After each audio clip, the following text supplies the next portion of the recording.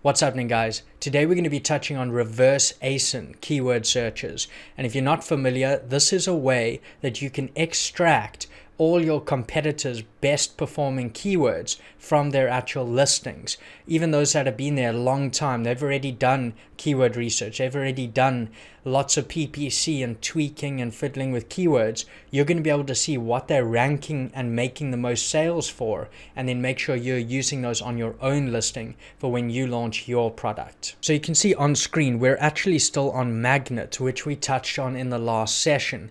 I'm going to show you how to get to Cerebro from Magnet. So you can do this all in one sweep. But you can also use Cerebro independently. You can see it as the fourth tab down the left here. If you guys aren't subscribed, please do subscribe to the channel. That way you can see all those other sessions if you want to get familiar with all these different tools as you build up your products. So here, what we can do in the top product section is we can actually select any of these and remember, we're using our example product, this one here, a wind speed meter, this anemometer. And in Magnet, we've done a keyword search for anemometer. And when we've done that, it's brought up our top competing products as well. So we did have all our keyword research down here, but it's also brought up our top products for that specific keyword. And if we click on any of those, it actually opens a Cerebro tab with that ASIN over here. You can see it's dropped in here. And you can also come to Cerebro independent of that and drop in any ASIN here. You can find your competitors on Amazon and drop in their ASINs right here. And now what we can do is we can actually say get keywords to do a reverse ASIN search and collect all these keywords from this listing that we've put in here. You can choose exact ASIN match if you wish. What this will do is avoid Helium 10 pulling keywords from any other variations of this listing. But I'm going to keep that open for now and we're going to click on get keywords. You can see it's loaded here and it's brought up the ASIN we're looking at. A distribution of keywords between our icons which we've discussed in previous sessions are frequently brought together. This is critical for differentiation, potential bundle options, looking at complementary items as well. So that's key, and you can look into those as well, but that's a different session. Word frequency is again how often individual words come up on this listing. Then, when we look down here, we can start to filter our big list of keywords below. You can see we have three, almost 3,000 keywords in here that it's pulled off of this listing. And obviously that is a huge amount to scroll through. So what we can do is narrow that way down. Now remember from our other session in Magnet, we have our top 50 super relevant high search volume keywords. And now we're using this just to make sure we haven't left any gaps. So what you can do to filter these is input a minimum search volume. It's going to be very dependent though on how much search volume your market has. If you're in a market where the, the search volumes here are like 40,000, obviously then your minimum is going to have to be much higher. But in this market, I'm going to put in a minimum of 200 search volume. In other words, I don't want it to show me any keywords that aren't typed in by customers at least 200 times to Amazon per month. Also, I'm going to filter by organic rank you can see that for every keyword that's returned in this far right column, it tells us where this listing is ranking organically for that keyword.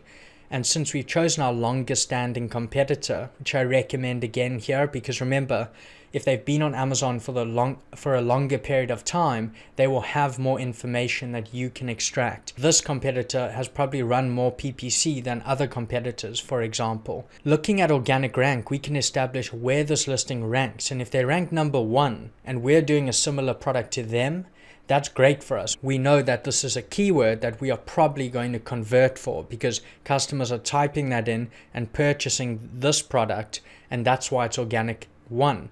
So we know we could rank very well for it.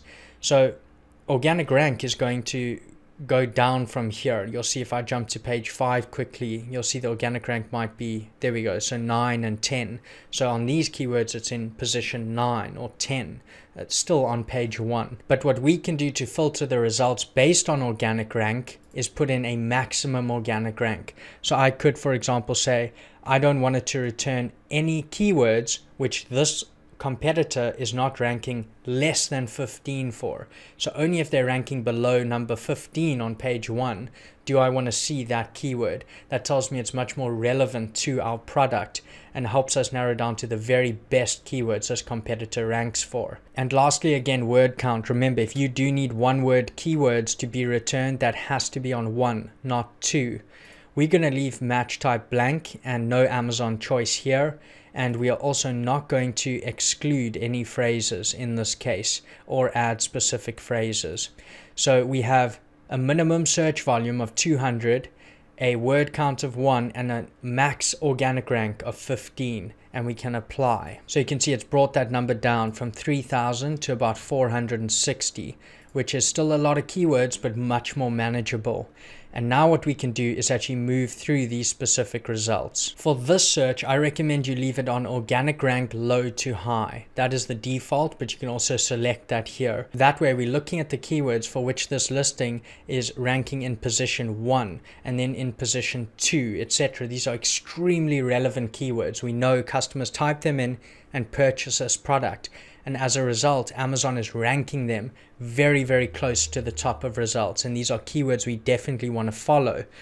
The biggest value you're also going to find in this is that you're going to find more niche keywords. They might be a little bit lower search volume but they're very targeted and resulting in a lot of sales and you don't want to miss those. You might have missed them in magnet for example if you're doing if you're cutting off the search volume at some point. So that's where this is going to be valuable. And I do think you want to keep the search volume a little more open here. You don't mind lower search volume on this tool. So we can see here wind meter, they're in position one. If you see this D highlighted, it means someone else has the Amazon choice badge. If you see the Amazon choice badge come up like this, it means they actually have Amazon choice badge for that keyword, which means they sell very, very well for that keyword. So looking at the list, wind meter, very nice search volume score here and also very nice IQ score as well. This is quite a high IQ score.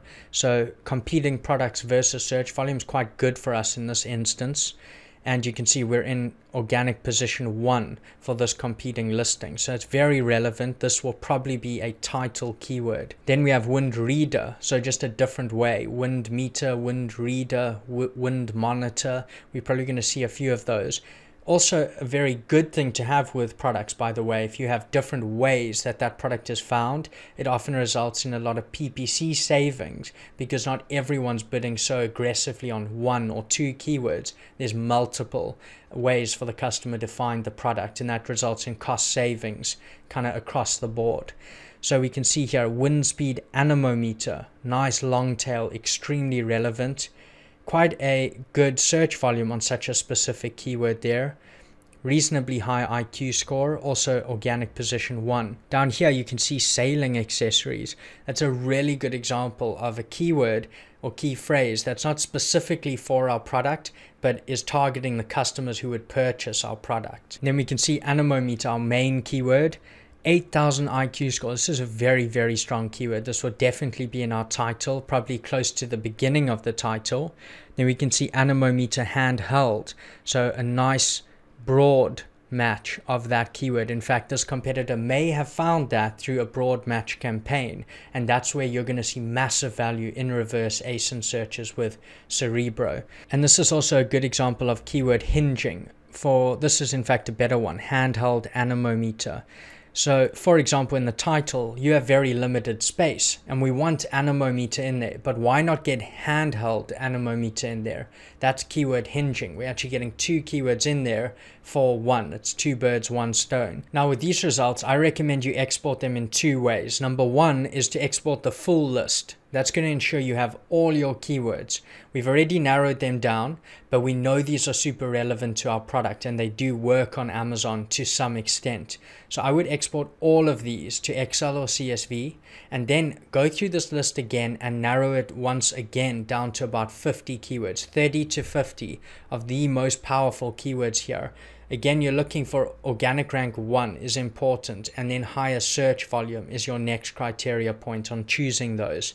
And then we have another set of 30 to 50 keywords that we can use for keyword inclusion on the listing. And this way, you also have this nice long list of keywords which you can use in PPC campaigns as you get your product moving. So we did this with one competitor, but remember, you could do it with multiple as well if you really want to cover your bases.